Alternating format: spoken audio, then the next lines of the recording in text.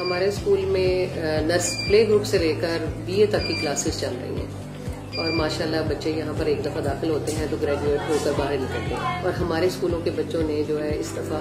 100 percent result show किए हैं, और जिसकी बिना पर डायरेक्टर जनरल साहब ने और हमारे जो फेडरल मिनिस्टर हैं ख्वाजा साद रफीक साहब, उन्होंने बच्चों में लैपटॉप और कैश अवार्ड भी जो है वो तकसीम किए हैं, जिससे बच्चों की और हौसला अफजाई हुई है।